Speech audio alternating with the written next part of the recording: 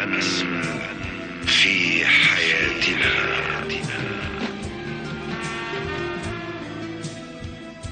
بسم الله الرحمن الرحيم. المشاهدون الأعزاء السلام عليكم ورحمة الله تعالى وبركاته. تتواصل بمشيئة الله آه، السيرة المباركة آه، في ضيافة آه، دكتور الفاتح علي حسنين ورحب به مجددا في هذه الحلقة من أسماء في حياتنا. مرحبا بك يا دكتور الفاتح. بارك الله فيك وجزاكم الله كل خير. دكتور حتى نصل من قطع في الحلقة الماضية. آه نحن كنا تكلمنا عن ال- المجهود اللي بذلتوه في ترجمة معاني القرآن. تكلمنا عن أكثر من تجربة لترجمة معاني القرآن للغة البلغارية والرومانية وكذا. آه قبل ما ندخل في محور جديد ما أعرف آه كم إلى كم لغة يعني قمت بترجمة معاني القرآن؟ إذا في تجربة تجربتين ثانيات ممكن نتوقف عندهم قبل ما ندخل في محور جديد. سريعا إن شاء الله. إن شاء الله. حقيقة نحن انتهينا من ال- التشيك. أيوه. وقلنا ولدنا السوداني اسمه محمد عباس المعتصم. نعم. والده كان سفير في اليمن وجا سفير في التشيك وهو قاعد هناك وخلص الجامعة وتخصص و- ويعني قام بمجهود كبير وأسس آه، جمعيات ومركز إسلامي و يعني تمت طباعة وترجمة مع القرآن الكريم على يديه هو وترجمة كتب تانية كثيرة جدا جدا رياض الصالحين والأربعين النووية وجزء من الحلال والحرام. ما أتذكر كله وكان معه واحد تشيكي بيساعده ال- في في ال- ال- المئذنة اللي قلت لكم عمل ال- ال- القنصل البوهيمي. وقلنا البوهيميا دي كانت اسمها مملكة لل- للبابوات. وعاصمتها اسمها الليدي نيتسا. دي اللي الأمير ده أسس فيها المئذنة دي. وإلى الآن للأسف الشديد يعني قبل ست سبع سنوات كانت آيلة للسقوط. قدرنا نرمم بعض أجزاء وإن شاء الله يكون وجدوا من يعيد ترميمها كلها يمكن لسه مواصل المجهود يا دكتور برضه في المتابعة حتى والله ما بس هو طيب. بعدين ال- الدولة الثانية اللي هي سلوفاكيا. أصلا هي اللغة الشيكو سلوفاكية الدولة سلو ودي عاصمتها براتسلافا نعم. هم في الحقيقة القومية في المسك في أوروبا أقوى من عندنا بألف مرة. ارتباط. آي يعني اللي حاسس إن إحنا مبجعلين والشاقية ودي لكن هناك أوروبا أكثر أك- الصورة ما تعقيداً. طبيعية. وأبادوا ناس وقتلوا في ال- السنين اللي فاتت دي كثيرين جدا جدا. فهم ال- اللغة الشيكية قريبة للسلوفاكية. طيب. قلنا لهم في داعي قالوا طبعا دي لو ما ترجمت لهم بلغتهم ولا بيقولوا لك القرآن ولا غير القرآن. تعصبا عرقيا. أيوه فترجمناها وكان على رأس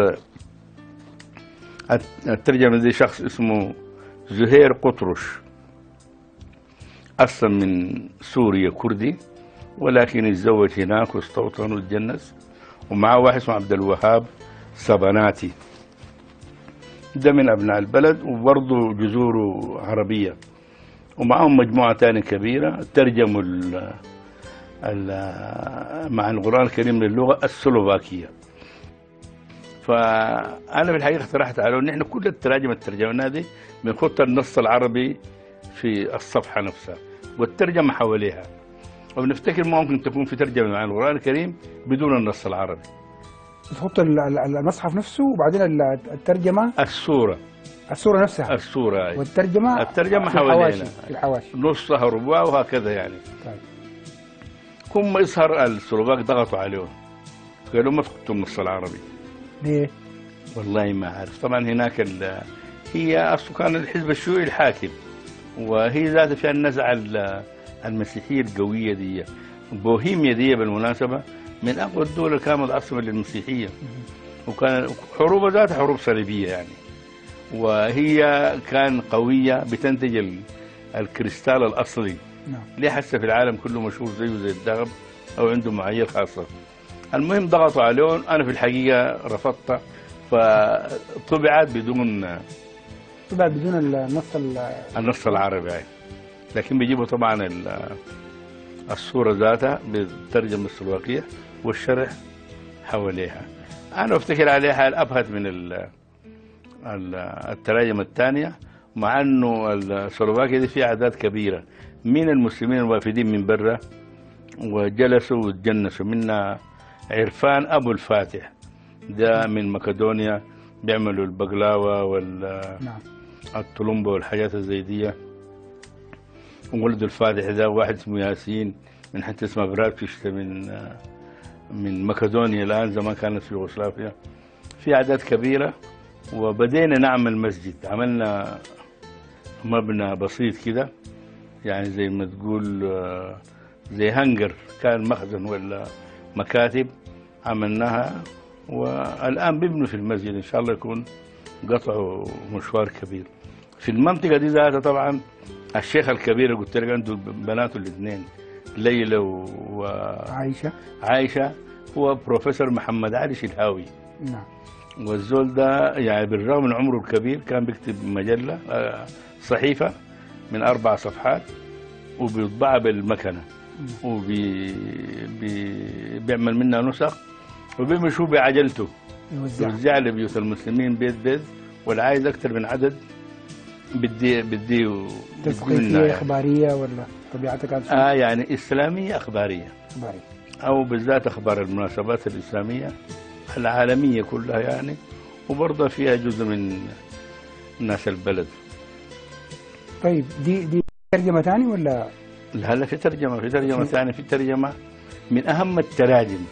نعم. ترجمتين اللي هو للغة البوسنة والهرسك ودي إحنا لقيناها مترجمة دقيقته إجازة آه لكن وديناه ل لمجمع الملك فهد طبع عليه منها مليون نسخة. هي نفس ال- نفس اللي هناك القديم. يعني. شلنا ال- الأفلام بتاعتها القديمة يعني ودينا لهم طبعوا لها منها مليون. ودي أثناء الحرب يعني كان سدت فجوة. كبيرة جدا جدا. الأيام دي كان طلعت آه، ألبانيا في الوجود.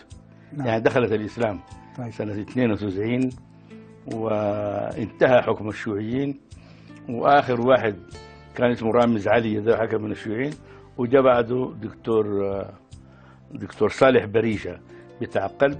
وده نحن الحمد لله جبناه في في الحكومة واشتغلنا له في الانتخابات ومديناه بكل ما يمكن أن ين- ينجح أي مرشح في دي كانت آه، أهم ترجمة بتاعت البوسنة. والترجمة الثانية؟ الألبانية. الألبانية. الألبانية. هي طبعا في يوغوسلافيا في إقليم كوسوفا. هسه بقى دولة منفصلة. نعم. ديل أصلا كانوا داخل يوغوسلافيا وكان عندهم ترجمة باللغة الألبانية. نعم. طيب آه، دكتور؟ فدي بس شلناها. نعم. طبعا منها مليون ووديناها لألبانيا. فبرضه عملت حاجة ضخمة جدا جدا والمسلمين هناك ما أكثر من 3 مليون. فلما تولون مليون نسخة معناته أي بيت بكل تأكيد دخلوا دخلوا آه،. ترجمة المعاني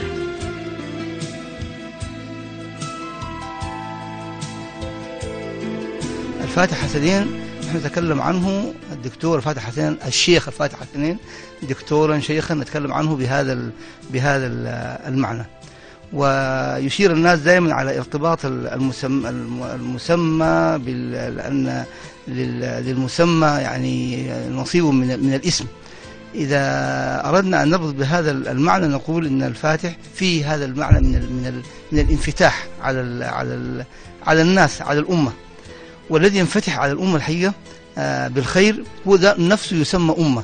ال- الأمة يعني في تعريفها اللغوي أن ال- الأمة هو ال- الفرد الأمة هو الذي يجمع صفات أو الجامع لصفات الخير.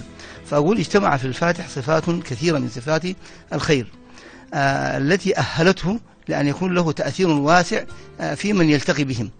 آه، هذا ال- ال- المجلس الذي نجلسه الآن يشهد آه، يعني آه، يعني زيارات متعددة لقاءات متعددة اجتماعات متعددة محورها الفاتح. سبب الالتقاء فيها هو الفاتح.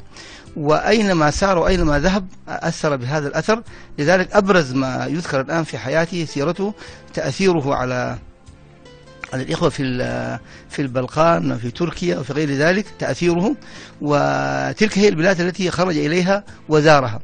آه هذا الخير الذي فيه آه يعني انداح إلى إلى الآخرين تأثروا به تأثيرا بالغا تأثيرا عميقا. هذا التأثير العميق الذي يجعل هؤلاء الناس على رأس مثلا آه، فخامة الرئيس الطيب أردوغان أنه آه، يجله هذا الإجلال ويحفظ له هذا هذا الأثر. هذا الأثر لم يأتي لمال ولا لعرض أتى لمسألة ال- الدعوة وللتأثير ال- الدعوي الذي يمتاز به ال- الفاتح. وهذا الأثر يعني على أقال كثيرين في البلقان كما تعلمون أثره كان أثر ال- العميق. فهو الشخص الذي يعني بجانب هذا ال- العلم ال- ال- يعني الطب الذي هو هو هو آه، متخصص فيه آه، كانت له خصائص يعني أنا يعجبني فيه يعني حضور ال- البديهة والمسألة مسألة ال يعني الأريحية في في التعامل. يعني حتى في أحلك المواقف في هذه المواقف الحالية جدا آه، يخرجه من هذه المآزق يعني ذكاؤه وبديهته الحاضرة التي ممكن أن تخرجه. وقد كان يعني يعني له هذا الصبر وهذه الشجاعة وهذا ال- الجمع الذي يعني أهله لأن يكون له هذا الأثر. نسأل الله سبحانه وتعالى أن يمد في عمره وأن ينفع به وأن آه، يعينه إن شاء الله تبارك وتعالى على استكمال هذه المسائل التي يوثقها عن حياته وعن اهتماماته المتعددة جدا يعني يعني حتى خطر في ذهني أنه حتى يتكلم عن اللغة وعن غير ذلك. يعني يستمر في هذا التوثيق لهذه السيرة العطرة التي تجمع بين آه، سائر أوجه الخير وبالله التوفيق وهو المستعان ولا حول ولا قوة إلا بالله العلي العظيم وصلى الله وسلم على سيدنا محمد وعلى آله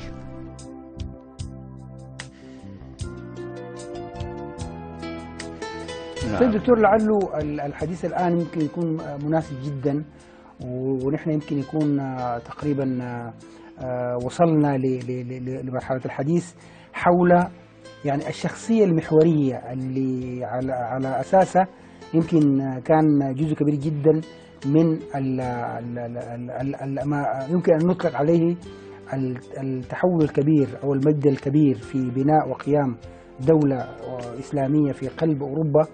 آه العلاقة اللي ربط الدكتور الفاتح حسنين بعلي عزت بوغوفيتش. أنت كتبت عنه أكثر من كتاب ولعل الناس كلهم كانوا بيعرفوا ان الدكتور الفاتح هو المستشار الشخصي لرئيس دولة البوسنة والهرسك واحسب إنه المستشار الشخصي هذه لا تعني المستشار بالمعنى المتداول عندنا إنه الشخص يستشار أو لا يستشار يعني. لكن هو شخص يعني حقيقي في المطبخ بتاع الدولة بتاعت البوسنة والهرسك كان حاضرا في مرحلة إعادة آه، زي ما الجهاد والبناء وفي مرحلة الدولة نفسها يعني. فنحن حقيقة تكلمنا عن علاقتك بدكتور علي عزت بوغوفيتش.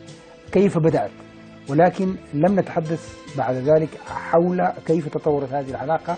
ما هي يعني ما طبيعة العلاقة بينك وبين علي عزت كيف تنامت في فترة ال- الحرب وفي فترة قيام ال- ال- الدولة وكيف وصل الدكتور الفاتح السوداني ال- ال- ال- الذي جاء إلى البوسنة طالبا وأصبح فيما بعد مستشارا لرئيس دولة البوسنة بدرجة يمكن رئيس وزراء. جزاك الله كل خير وبارك الله فيك. حقيقة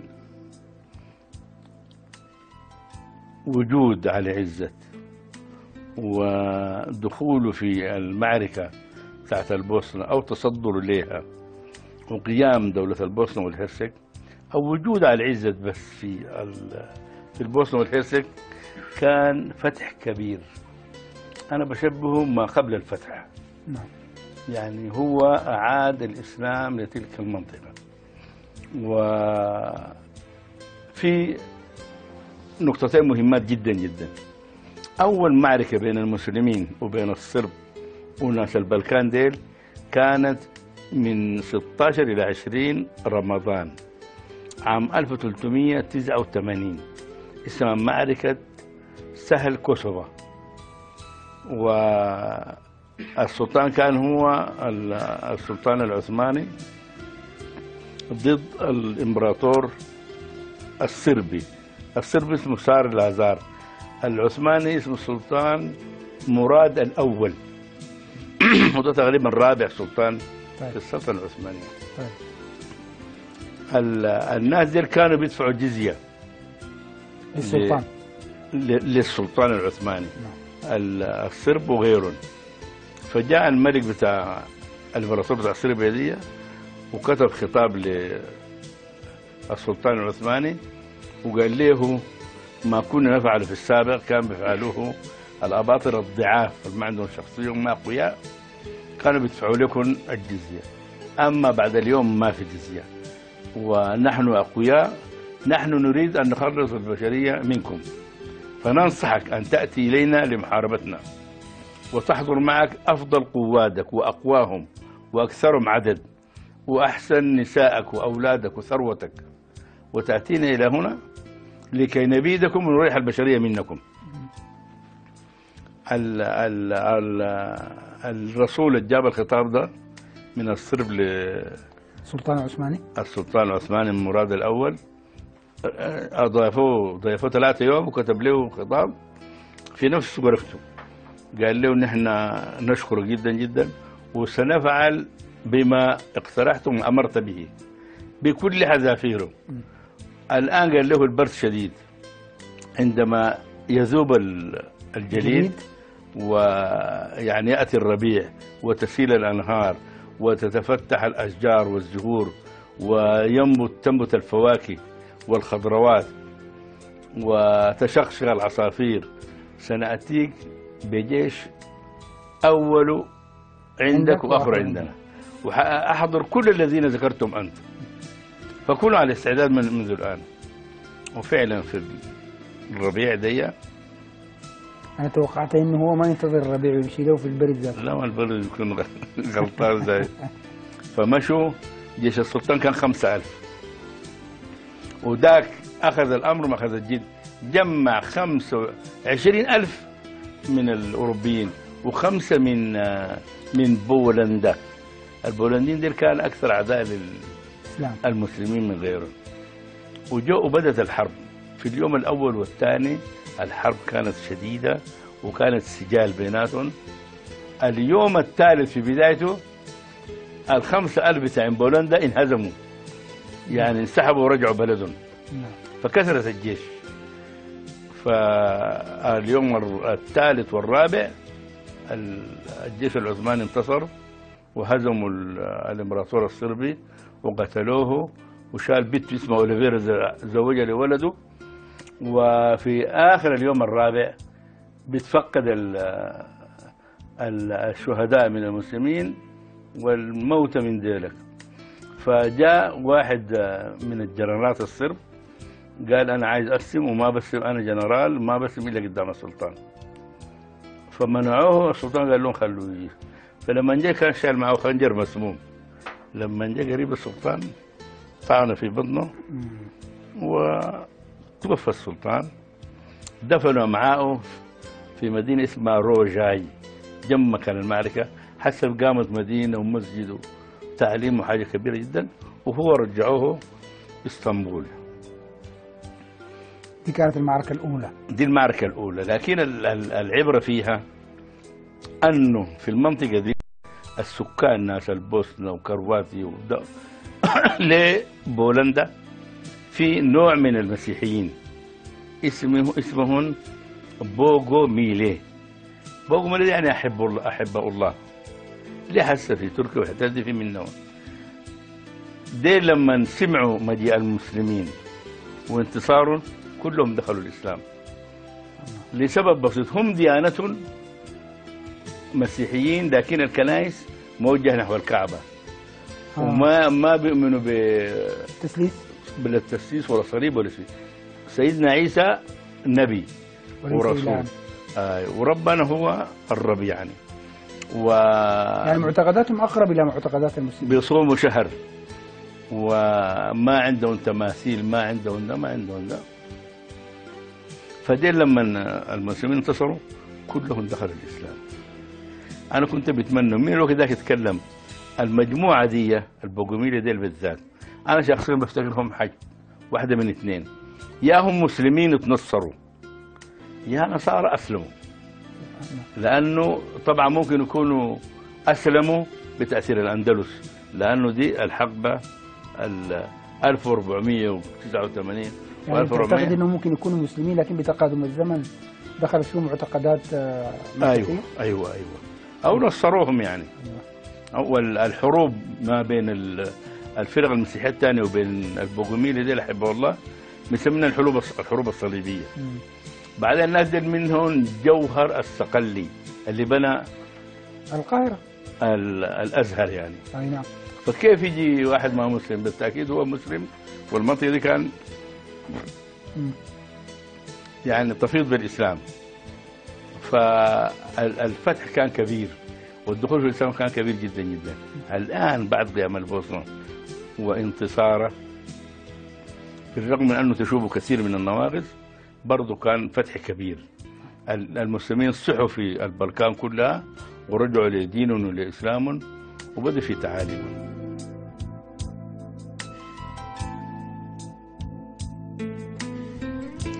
حقيقة هو قدوة في الشجاعة وفي الإقدام وفي المعرفة وفي العلم وفي التعلم وفي الاقتحام.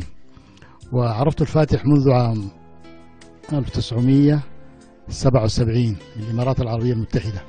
كان زائرا لها يبحث عن عمل والتقيت مع أخي الطيب الطيب الواعظ والفاتح يمتاز بذاكرة حديدية. يعني عندما وصل إلى أبو ظبي وسلم على إخوته وسلم على الطيب وسأله عن تاج الدين.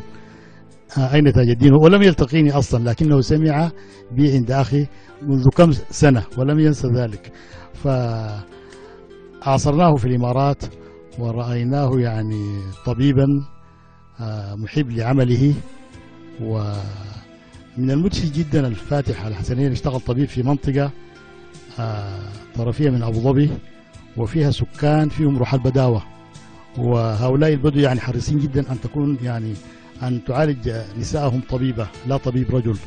لكن هؤلاء الجماعة وعدد منهم من اليمانية معظمهم من اليمن أحبوا الفاتح جدا كطبيب ودكتور وكإنسان وكسوداني وكانوا يقدمونه في علاج أهلهم وزوجاتهم وأخواتهم على الطبيبات. مرة في عيادته كان عنده عيادة كبيرة وتابع لوزارة الصحة وزاره المسؤول أو المشرف عن العيادات آه، كان من آه، أصول إيرانية. آه، المهم لسبب الأسباب لم يكن مستريحا للفاتح فقرر أنه يأتي بطبيبة لتعالج النساء ويترك دكتور فاتح لعلاج الرجال المشكلة أنه بعد ما وصلت الطبيبة ظل أهل النساء والنساء أنفس- أنفسهن يأتين الفاتح للعلاج لم يذهبن إلى الطبيبة. فكان ثقة وكان يستقبلهم في بيته في أي مكان وفي أي وقت. يطرقون الباب ويخرج معهم ويعالج مريضهم. كان بيته آه، مفتوحا طوال اليوم ليلا ونهارا بطعامه وباستقباله وبعلاجه وبكذا. يعني دار مفتوحة. هي دي يعني آه، طبع هذا طبع الداعية الداعية الحقيقي.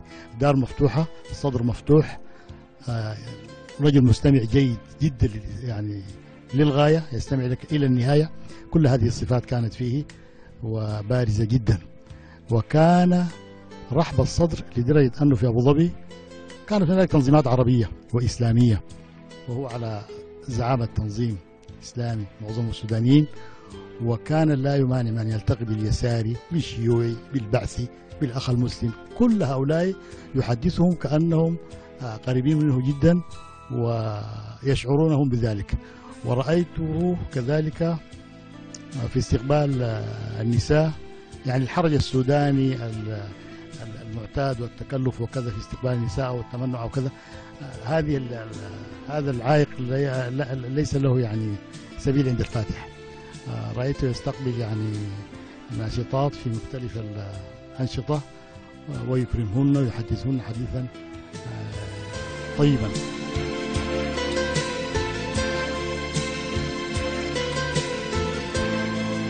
على عزت أنا ذكرت فيما سبق أنا تعرفت عليه في يوم 17 أو 16 شهر 7 سنة 65 في مدينة سراييفو وبدأنا نتكلم وقلنا لابد أن ناسس الجماعة الإسلامية ونحن عندنا اتحادنا لوحده نتعامل مع بعض. وقال ترجموا الكتب في الحقيقة أول كتب ترجمت هي العشرة اللي ذكرناها قبل كده يعني. نعم. وكانت دي منهج للطلاب يعني. نعم. كانوا بيشرطوها بخط اليد هي. وبيوزعوها انه يدرسوها وعملت تأثير كبير جدا جدا. طيب. وكيف تطورت العلاقة بعد ذاك؟ أنا ما ما تفارقنا إلا بموته. أول الفترة الأخيرة دي أنا منعني ما أدخل هناك يعني. طيب نحن مع برضو عايزين يعني نشوف هو دوره ذاته في في قيام الدولة قيام دولة البوسنة والهرسك آه، دخول السجن وخروجه من السجن بعد ذاك وكيف أصبح رئيس لدولة آه، مسلمة غ- يعني فيها غالبية كبيرة. حتى في أنا أعتقد إنه في أول حكومة له آه، ما كان عنده غالبية ك ك يعني مش مسلمين لكن بقصد إنه كناس ملتزمين بخط معين أو كده يعني. معه مسلمين لكن ممكن يكونوا شيوعيين. هو في الحقيقة ال ال اتكونت أول دولة أو بعد انهيار الاتحاد السوفيتي طبعا وحدث ال- هو دخوله للسجن في حد ذاته أيوه. برز وبلور له شخصية وكيان. اول حاجة هو دخل السجن باي تهمه و... هو طبعا الشيوعيين وتيتو عامة. مم. كان كل سنة سنتين بيشوفوا ال- الناس اللي بدوا يبرزوا من المسلمين بيعتقلوهم. يا صفوهم قتلوهم يا سجنوه السجن المؤبد يا فركشوا أمرهم يعني. فواحدة من الأخيرات دي سنة ثلاثة يوم 23 شهر ثلاثة ثلاثة 80 وثمانين. مسكوا مجموعة كبيرة منهم منهم 13 واحد من المسؤولين من الجماعة اللي كوناها سنة 65 ودخلوا السجن في الأول حكموا عليهم بالإعدام عملنا احتجاجات قفضوها للسجن 14 سنة وأنت نازل. وبعد شوية خفضوه شوية لغاية ما طلعوا كلهم. آخرهم كان على العزة في شهر 11 1988 وده بداية انهيار الشيوعية لكن وجوده في في السجن. كتاباته. طبعا له أول كتاب اللي هو الإسلام بين الشرق كان عندك. به وصله خلال وجوده في في السجن؟ طبعا كيف؟ أو وسيلة اتصال باستمرار- كانت كيف؟ باستمرار. كان عندنا من الناس الحراس بتاعنا الخلية بتاعته أو الزنزانة؟ نعم. بيجيبوا لنا اخباره وبدونا أخبارنا وطبعا اهله برا بنتصل بهم طوالي. أيوه. عندنا والأسر الثانية الناس اللي سجنوهم معهم. كله كان علاقتنا معهم قوية متواصله كنت داخل السجن ده بدأت تتبلور آه، اتجاهات جديدة. ب- قد لا. تكون في شخصيته. في لا لا في شخصيته بالذات. يعني بقى ينظروا له كزعيم كقائد. بدأت تظهر وهو وهو داخل وهو داخل السجن. ده الكلام اللي خلانا نتنبأ لأردوغان. قلت له مرحب. هو في السجن قلت له مرحب برئيس. وزراء تركيا القادم. القادم. فقال لي دي يعني حنتكلم عنها إن شاء الله في حلقة قادمة. آه فوجوده في السجن عملوا زعيم وعملوا إمام وعملوا قائد وحاجة زي دي. فلما طلع طوالي وجد كمية من الناس برا اللي كانوا متابعينه بيحبوه وحتى من الناس ال- التانيين يعني اللي بيفتكروا أنه يعني ده ما إنصاف يعني لازم يكون في حد يعني من العدل بين الناس في الدولة الواحدة. والحزب الشيوعي ذاته ضعف والشيوعية العالمية ضعفت فمجرد ما ملك بدأ أن نفكر في تكوين الناس سبقونا حقيقة عملوا أحزاب. السرب والكروات وغيرهم ديل عملوا أحزاب لهم أنتم ما ما فكرتوا تعملوا حزب؟ لا مجرد ما العزة طلع هنا. ذاته زي كان عنده موقف من الأحزاب قبلية صح؟ قبلية معلش العزة في الحقيقة آخر واحد كان بيقاوم على أن تبقى دولة واحدة. هو ورئيس جمهورية مقدونيا وآخر رئيس ليوغوسلافيا ومنها اتفرتقت آه كرواتي. اسمه آه ستيبا ميسيتش وكان يحب علي عزت ده حب شديد جدا جدا. لآخر لحظة وهو ذاته فيما بعد جاء بقى حاكم لكرواتيا فيما بعد يعني. فعلى عزة زول مفكر هم دول كلهم ما يعني هم بيقولوا كده. بالذات رئيس جمهورية سلوفينيا دي بيقول على عزة أستاذ بروفيسور يعني كاتب زعيم فيلسوف. فيه في شخصيته فيه مقومات ال- صحيح. العامة. صحيح. موجودة كاملة بعد نظر. وبعدين يعني أنا بف يعني على العزة ده كان بيشاورنا في أبسط الأشياء. كان عادة كتاب اسمه ال... الإسلام الجهادي ميليتنت إسلام نعم. فبتذكر أنا أول من اعترض عليه. علي أنا أكبر مني ب 21 سنة. يعني حقه لا ينبغي لي أن أعترض. لكن طبعا الواحد لما يشوف حاجة نعم. وفعلا ترك نزل على رأينا أنه ما كتبه. والحمد لله ما كتبه. كان أنتوا اعترضتوا لأنه ده ممكن يعطل. الشخصيه أو لا لا كان. بشكل يقلب الناس كلهم ضدنا. نعم. كل الناس وبعدين ما بنستفيد حاجة يعني. نعم. الإسلام خصائصه معروفة. طيب. فالحزب ده تكون وأنا ذكرت أنه في واحد آه، كان سميتوه شنو حزب العمل ولا؟ حزب العمل الديمقراطي. حزب العمل سماه واحد من الفنانين الشعبيين من ناس البوسنة كان دائما بيغني أغاني الجهاد وأغاني المسلمين القديمة. طيب. اسمه صافت إيسوفيتش يعني صفوة عيسى. واختيار اسم العمل الديمقراطي ده أقرب إلى كنا إلى مسميات الأحزاب المرتبطة بالعمال وكده. أيوة. بالتالي هي زي المصالحة كده مع يعني ثانية الشارع. غير ملفتة للنظر. طيب. هو يعني أول لما قعدنا واحد قال سموه حزب الإسلام حزب الله مكة المؤمنين المجاهدين. فده لما قال الكلام كلنا وافقتم. وافقنا بدون يعني تردد. تردد. ليس المهمة اللافتة ولكن المهم أيوه أيوه. ما بداخلها. وبعدين منو الأعضاء اللي بقوا؟ قالوا دي الناس اللي اتسجنوا. طيب الناس اللي اتسجنوا بسيطين يعني كلهم 100 200 الناس الثانيين الناس طيب الأسر بتاعتهم. طيب قلنا لهم ال- ال- ال- المسلم ده ما بتقبلوا عندكم نمشي وين؟ ما يا في له حزب ثاني أكيد. ضد الإسلام. صحيح. ولذلك طلع في الآخر إنه كل أي واحد عايز يلتزم- بالدستور أو النظام الأساس ده يكون عضو من الأعضاء. أحسبك أنت من الناس اللي شاركتوا برضه في وضع النظام الأساسي لل... آه ما طلعناه من بدري اسمه البيان الإسلامي. نعم تذكر حكيت لنا في حلقة بتاعته. نعم. فطلع ويتكون الحزب. وهي ال... بتذكر ذكرت الأمر ده. خدتين ال- المذياع عشان نسمع الأخبار. إحنا كان عملنا ندخلين سبع أشخاص بس في البرلمان. فبدأ يتكلم الحزب الحزب العمل الديمقراطي استرانكا ديمقراطيا انكسيا اس دي اي بقول فلان فلان من الاس دي اي ثاني فلان فلان من اي خمسة فرحنا جدا جدا. سبعة فرحنا. عشرة 15 20 لما بقوا 30 قلت له يا علي الانتخابات دي مزورة. قال لي مزور كيف؟ قلت له خلينا معقول نجيب قدر ده؟ ما كنتوا متخيلين ابدا تصلوا اصله مستحيل. قال لي كلام غريب. ليه وملينا نتذكر وده بقوله لإخواننا كلهم. أيوه. قال لي ما في تزوير في الدنيا لصالح الإسلام. أي تزوير ليس في صالح الإسلام. المهم بيزيعوا كده لغاية ما وصلنا 99 من كم؟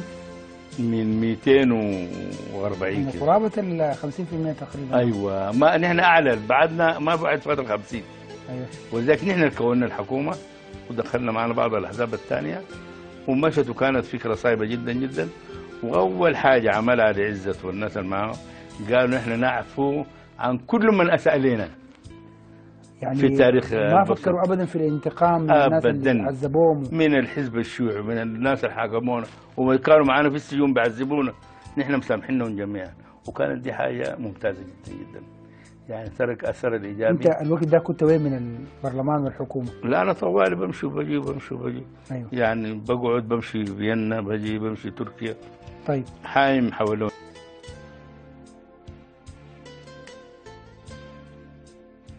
تكونت أول حكومة؟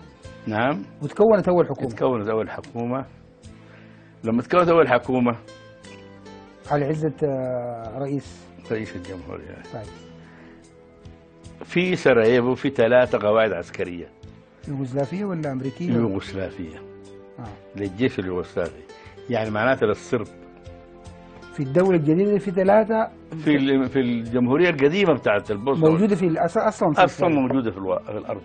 ده قبل ما تتكون البوسنة والهرسك كدولة بلد كانت آه في, المنطقة. يعني مجرد ما طلع جات الانتخابات وهو بقى رئيس. ف ودي مشكلة إنه يكون عندك ثلاثة قواعد يوغوسلافية في في بلدك. في بلد طيب. وبلدك ضعيفة. طيب. السلطة الحقيقية. كانت عند الصرب. في الحكومة. 80% في البلد في الجمهورية. في الجمهورية. قبل ما جي على عزت طيب. و17% للكروات. و3% للمسلمين الشيوعيين.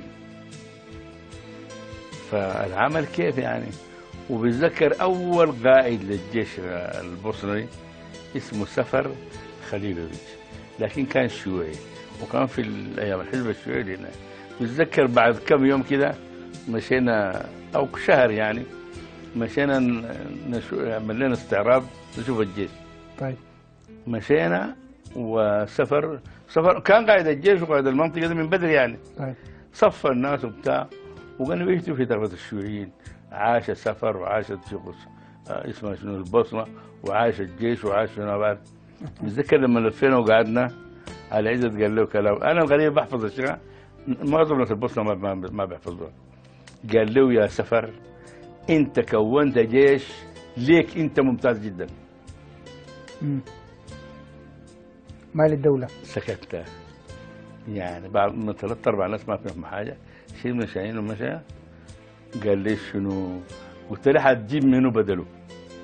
قال لي أنت فهمت أنه نشيل قلت له طبعا. ما قلت إنت كونت جيش لروحك. ما كونت جيش للدولة. صحيح. وهكذا مشت. يعني حارب لغاية ما بقت السلطة 100% عنده. أو ان حكومة قاتل في. تيار في الخدمة في الجيش في كله. في كل شيء في كل شيء. وحصلت حربين. عشان يطلعوا ال- القواعد دي من من مدينة سراييفو. طبعا بعد شوية جات ال- الأمم المتحدة والناتو وكلهم دول كانوا متعاطفين مع ضد المسلمين. فتعب تعب. كيف نجح في ال- زي ما بيقولوا المعادلات الصعبة دي؟ والله هو شوف عنده هو زول عنده بعد نظر وعنده معلومة من كمية من المعلومات كثيرة جدا جدا وزول صادق وأي كلام تقوله له ولا فكرة تقولها ولا مصيبة يكون عملوها الآخرين بيحاول يطلع منها الحاجة الكويسة. ما بيحاول يطلع الحاجة البطالة. نعم. ويعتمد عليها في تغيير الأمر. اختيارك كمستشار تم في أول آه، بعد تكوين أول وأنا في حكومة الحقيقة أنا ولا الحقيقة ولا قبلها؟ لا لا لا ما أنا قبل ال- لا قبل ما العلاقة موجودة لكن بتكلم عن ال- ما أصل شوف الفترة دي كلها المنصب الرسمي ما. كنا بنعمل حاجة إلا نتفق عليها الاثنين. وما حصل يشاورنا في حاجة وإلا طلعنا متفقين في أكثر من 75% منه. ولذلك كان هو ذاته ما بيقدر يتخلى عني. نعم. وأنا كان عندي هو طبعا كان مستشار قانوني. قبلها. هاي في البداية هنا. وأنا كنت طالب أنا يعني مع ال- الطبقات التحت والطلاب والمواطنين و- والتكاية بتاعت ال- المتصوفة والمطاعم. فأنا حايم بين الناس يعني. حتى لما يجي عين واحد. وأنا إذا أنا ما موجود بعد ما يختاروا. أنا لو جيت رأي مخالف طوالي بشيله وبتذكر أنا عن- أصلا ما بتكلم عن عن عن جهل يعني. بقول له فلان ده أبوه فلان الفلاني. في اليوم الفلاني في الحزب الشيوعي عمل كده. في جيرانه عمل كده. أخته دي كانت كده كده. في اليوم الفلاني عملت كده. وهكذا. وكان يسأل طبعا. فبجد ما حصل لي كلامي خطأ يعني. فكان فعلا محتاج لي جدا جدا أو أنا كنت مفيد التعبير الأجمل كنت مفيد بالنسبة لي. بعدين ما تنسى أنا مشيت. هو قال تعبير هنا جميل جدا قال لي الفاتح ربنا خطط لقيام الدولة دي. نعم. أنتوا جيتوا كطلبة أجانب من بلاد المسلمين والعرب وعملتوا معانا نحن هنا واتصلتوا بجماعتكم ديل عرفتوهم بيننا نحن. وتقوت العلاقات وبدي يعرفوا أنه في حاجة اسمها البوسنه ويوغوسلافيا وفيها مسلمين. بعد شوي أنتم مشيتوا بلدكم أكدتوا المعلومات دي وكتبتوا كتب وكتبتوا في الصحف وتكلمتوا في التلفزيونات والإذاعات. وبعد شوية إن إحنا دخلونا السجون. الناس بدأت تسمع عننا ويعرف ودخلوا معنا شباب يعني ما الناس الكبار في السن بس. وخلق جيل مختلط. كل الأمر ده فيما بعد كان كان يعني ال- ال- المستند اللي قامت عليه الدولة الجديدة دي. فكان يعني كلام منطقي وللمدى البعيد هو كان صحيح. فلما دخلونا السين وطلعوا وتكون الحزب وتكونت الحكومة اتوسعوا في في في تكوين ال- الأحزاب في الأماكن الثانية. و آه، مجرد ما هم فازوا وأعلنوا استقلال البوسنة. قبلهم كانت جمهورية اسمها سلوفينيا أعلنت استقلالها الصرب حاربوهم لمده أسبوع دخلت أوروبا وأجبرت الصرب يطلعوا نعم. بعد ذاك أعلنت كرواتيا الجمهوريه الثانية. حاربوها الصرب لمدة ثلاثة إلى أربع شهور. وأوروبا ضاغط عليها. بعد ذاك قامت البوسنة. اعترفوا بها من الأمم المتحدة لكن الحرب استمرت 48 شهر فترة طويلة جدا. فترة طويلة والأمم المتحدة والأوروبيين أدوا الفرصة آه، للصرب يبيدوا ديل لكن ما قدروا. وفي الحقيقة الدول العربية بأكملها شاركت ودعمت وتوحد على نصرة قضية البوسنة والهرسك وده ما عاد بكل ما تستطيع يعني. يعني إحنا ما كان عندنا مشكلة نشتري أي حاجة بأي ثمن من أي حتة.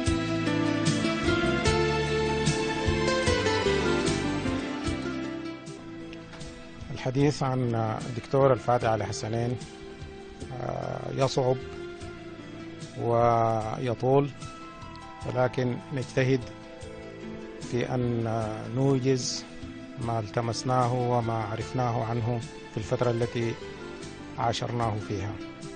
وبدءا آه، يحضرني بيتان من الشعر آه، للمتنبي الشيخ الداعية الإسلامي الذي يحمل هم الإسلام في كل مكان ليس في السودان فحسب. فيقول متنبي هو كالبحر من حيث التفت رأيته يهدي إلى عينيك نورا ثاقبا هو كالشمس من حيث التفت رأيته يهدي إلى عينيك نورا ثاقبا هو كالبحر يهدي قريب جواهرا جودا ويرسل للبعيد سحائبا. وكذلك كان وما زال دكتور الفاتح على حسنين الذي كانت نشأته في مدينة كركوج بولاية سنار وكانت نشأة في مجتمع في وقته يعد من المجتمعات المتحضرة لما توافر له من بيئة دينية وتجمع لإثنيات وجماعات تمتد جذورها أو جذورها إلى المغرب العربي وإلى السلطنة الزرقاء التي أثرت وأنتجت مثل دكتور الفاتح على حسنين وكان من بدايته ذا توجه إسلامي واضح واهتمام بالإسلام وكانت بعثته للدراسة في يوغوسلافيا للطب فرصة له للالتقاء بإخوانه السودانيين والعرب والمسلمين والأقليات المسلمة المتواجدة في يوغوسلافيا وفي الدول الإسلام في دول شرق أوروبا من حوله.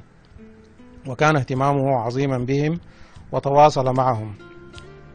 وامتدت علاقته بهم إلى أن أصبحت علاقات مؤطرة ومنظمة. كان نتاجها تكوين أحزاب ونشوء حكومات في أوقات لاحقة. فجاهد كثيرا في هذا العمل وكلل بنجاح باهر وكان محور نجاحه في إنقاذه للمسلمين في البوسنة